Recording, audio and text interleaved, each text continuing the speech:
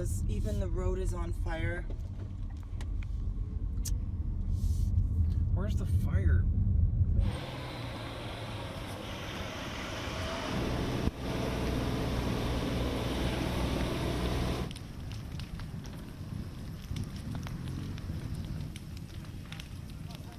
Yeah.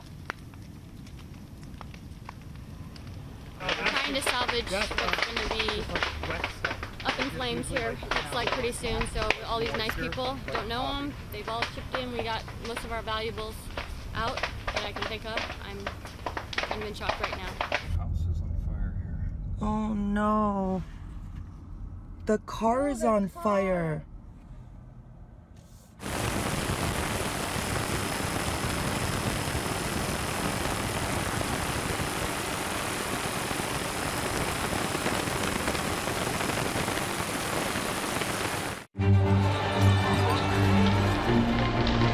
The President of the United States, Donald J. Trump.